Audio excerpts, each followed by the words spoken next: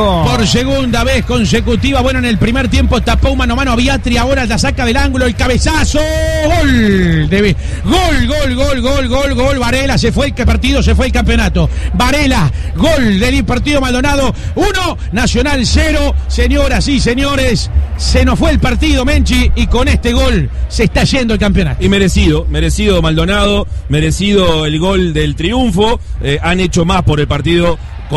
que un Nacional que está peleando allí arriba, que quiere meterse en la definición del campeonato y que la verdad con lo que vimos hoy no le tendría que dar ni para estar ahí donde está, porque la irregularidad de este equipo a lo largo del año ha llevado a que a esto, ¿no? A que puede conseguir los resultados en dos partidos, pero va a venir un partido donde va a pasar esto, donde flaquea en lo futbolístico, en la actitud y en el resultado. Esta vez 1 a 0, faltan pocos minutos, no veo por dónde Nacional puede resolver esta situación. Varela el gol, después que Polenta perdió la marca eh, de Varela, eh, en ese mano a mano en el área que se da entre zagueros y eh, defensores y, atacantes. Varela le gana, le anticipa Polenta un cabezazo de golpe al piso y un Martín Rodríguez que había sido figura nacional en esta eh, tiene una contención bastante endeble, ¿no? Podía haber hecho mucho más. Martín Rodríguez que no pudo poner sus brazos fuertes y sacarla. Gana Deportivo Maldonado 1 a 0, quedan 11 minutos para el final y aparte juegan con un hombre más en la cancha, se nos va el partido, se nos va el campeonato, se nos va el año